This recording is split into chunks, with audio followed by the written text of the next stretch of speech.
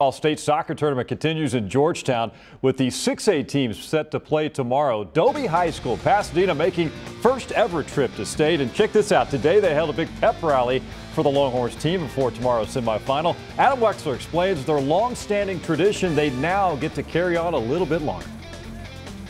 It's actually been a tradition at Dobie High School for for a while. A tradition like no other. A funny inner joke, but I guess we're sharing it now with everybody. Sharing with everybody as they make history at Dobie High School. Um, everybody in the school knows that, oh, they're they're blonde, they're beach blonde. That means that they are in playoffs.